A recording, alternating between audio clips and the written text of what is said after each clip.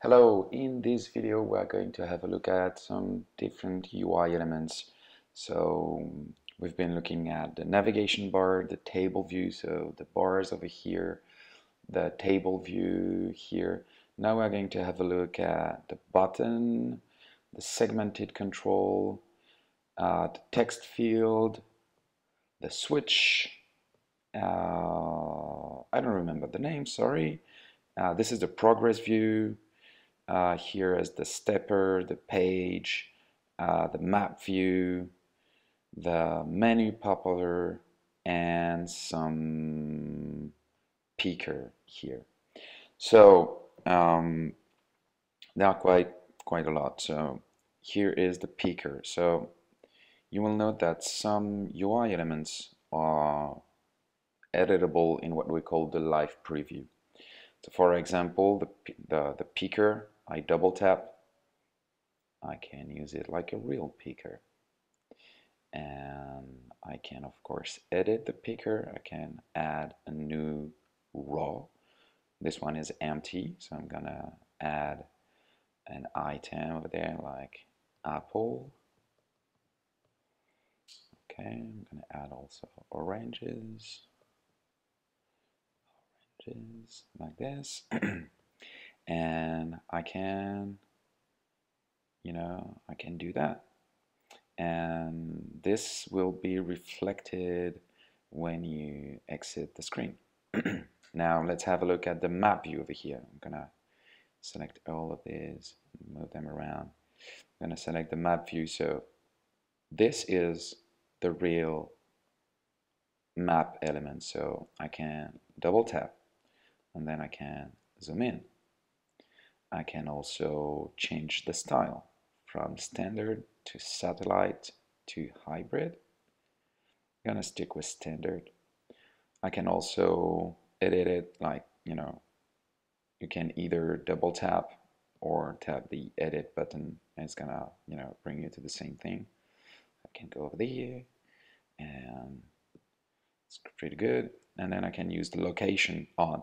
so basically this will add your location find your location. Not going to do that right now. Not going to show you where I live. So um, that's the map view. Now let's have a look at the page control. So the page control, you can see, I can only see just one dot. That's because that's the default state. So the selected dot, I'm going to change the color to this yellow and the normal dot, I'm going to change it to, um, you know, maybe this orange or light orange, maybe like that, yeah. It's cool. I can add the number of page I want. I can select another page, so I'm going to change it so it's more obvious, yeah, more like that. And I can basically, you know, it's the real UI element, so it's good. Now let's have a look at another one, the menu popover. So the menu popover is exactly what is displayed here when I tap on an empty area when I select an object and then I tap again. So that's a menu popover on a menu popover. So it's working pretty much as you would expect. You can add a button, you can move the arrow, the arrow, sorry, you can move the arrow, you can place it wherever you want. So that's pretty much, you know, what you would expect from, you know, from that kind of, um, of UI. You can place it like that. You can really customize it to your need. Now the stepper, the stepper can be changed with the tint option over here or you know as I said before it's going to be in the same um, you know bunch of UI that are directly um, targeted by the general tint option that you can find here. So here you see all these UI elements over there are affected by the tint option at the level of the screen. So here is the segmented control, the button, everything. So I'm going to remove the link just so you can see better indicator on. I can change the color of on and off, but this particular UI is not affected. That's not the default behavior for this uh, for this component. So um, as you can see, nothing is selected. go to the property bar at the bottom left corner there is the tint option when I change that color all the UI that I you know that are in front of me have their color changed um, this is the progress view I can change the value of the progress view I can go to 70 or I can go to 50 oops sorry I'm gonna go back. Go to 50 I can change what's the minimum color and I can change what the maximum color. As you can see it's uh, red and blue.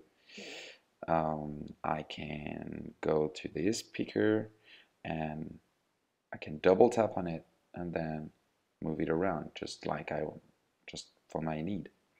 Now I can take the segmented control I can add items like that. I can then, you know,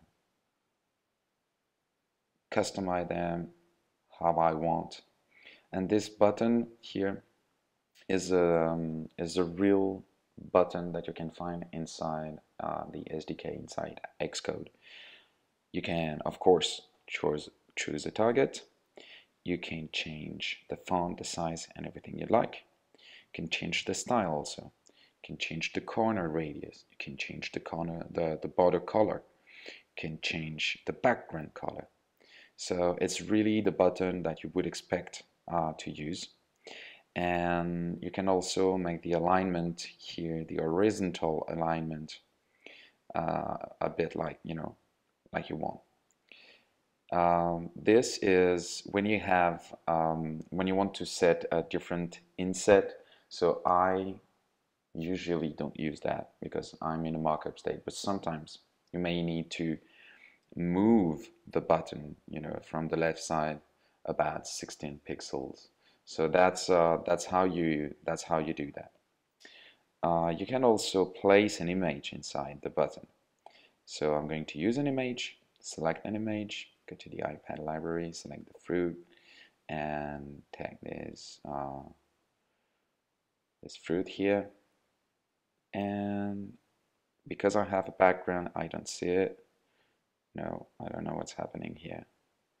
Oh no tint image yeah that, that was that sorry. So I can um, use the animage and here it is. I have a button I can choose a target and that's pretty much it. Uh, you may want to use that when your designer already made the button and you're going to use that button here I personally don't use that very often so I recommend you to stick with that you know simple button that looks like you know the iOS 7 stuff. And I'm gonna select this I'm gonna remove them delete delete that too and I'm gonna take a bit sometimes to talk about the text field. So the text field is can be only a single line. You can have the clear button you can center the text or align it. And you can also have it like with the little bezel line or none.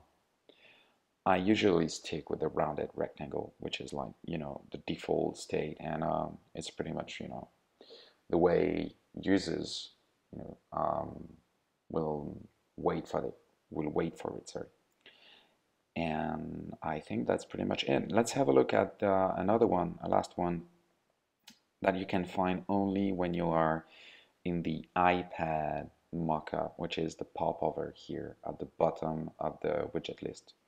So um, as you can see, it's it's translucent. And it's translucent, but not only when I add a popover, it also add a rectangle that fills the entire screen. And this rectangle is a 15% here opacity. I don't know if you see the opacity here. So basically that's two different objects because as you can see, when I use a popover, you see how the, um, the, um, the entire screen here is getting darkened a little bit. You see the difference? So that's exactly what we reproduced inside AppCooker reproduce the same behavior. So now you just have to move it around. I can change the arrow, can, you know, put it on the left side, right side, etc. And then you have to customize it. So for example, I'm gonna I'm gonna do that. I'm gonna bring that down. I'm to take this, bring it up. Now I'm to put it here. As you can see, the um, snap to guide option is a little bit bothering me right now, but To put it snap off. And I'm to do that. I'm to move it here. It's pretty good. And I can then group those two and I can scale them like this. So that's super handy when you're designing um, an interface. And that's it for the UI elements. So note that all the UI elements that we've seen here, the widget list here, you can find same in the wireframe options, but there are two, there are three more. They are here, the image placeholder, the music placeholder, and the video placeholder. So you may want to sometimes use an image placeholder like this and put it like, you know, if it was on a popover. And that's it. Thanks for watching.